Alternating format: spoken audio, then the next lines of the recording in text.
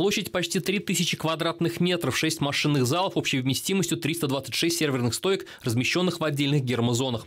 Защиту от пожара, влаги, вибраций и других вредных факторов обеспечивает модульной конструкцией Smart Shelter.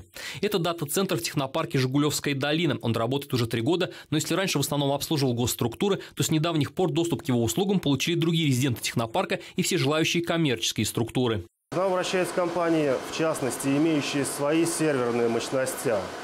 Но а, размещение серверного оборудования подразумевает необходимость обеспечения данного оборудования бесперебойным электроснабжением, бесперебойным холодоснабжением. А, не всегда и у всех получается обеспечить данные моменты. Мы, являясь специализированным учреждением, мы предоставляем все это а, в круглосуточном режиме.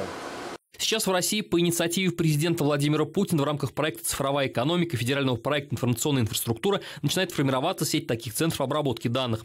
В Самарской области полным ходом идет прокладка оптоволоконных линий связи, которые позволят объединить крупнейшие дата-центры губернии. Уже при нашем, скажем так, э, при нашем волеизъявлении э, создан пилотный проект по City, и, соответственно, все компании, которые сюда будут заходить, они ну, будут получать возможности, в том числе присутствовать в этом СОДе, а может быть присутствовать в тех СОДах, которые в Самаре расположены, но в то, в то же время виртуально присутствовать здесь.